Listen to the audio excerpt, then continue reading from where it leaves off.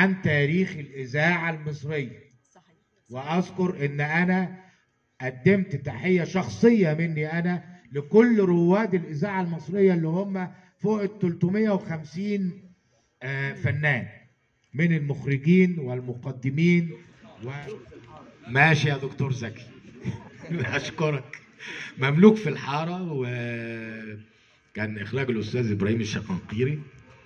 آه، فقلت له خلاص المهم يعني بعد كده بعت لي آه، قطز في الفرسان.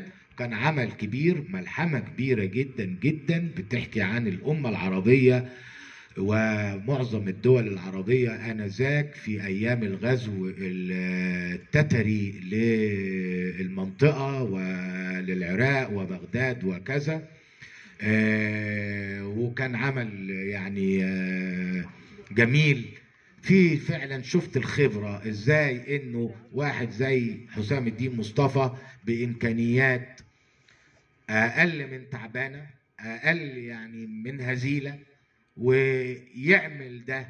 قلت له يعني آه، أنت تشرفت يعني ب- ب- برئاسة الدورة ال 12 في المهرجان القومي للمسرح المصري. فأذكر إن أنا قلت في الكلمة إنه آه، مصر مكانتها أحسن من اللي هي فيه. وعشان نوصل للمكانة اللي إحنا عايزينها لبلدنا و...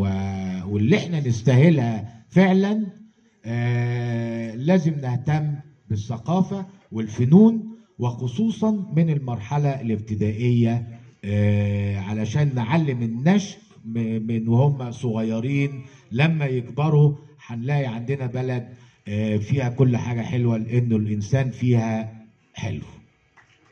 وحضرتك حلوة قوي.